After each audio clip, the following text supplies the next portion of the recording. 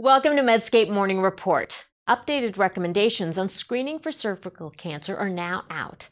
The key change is that the USPSTF now recommends high risk HPV testing every five years as an alternative to cytology testing every three years for women aged 30 to 65. Co testing with both every five years is also an option. They still recommend screening with cytology alone every three years for women aged 21 to 29 years. Women older than 65 can stop screening if they've had adequate prior screening, and women younger than 21 don't need screening. Another group that doesn't need testing are women who've had a hysterectomy with removal of the cervix and who don't have a history of high grade precancerous lesions or cervical cancer.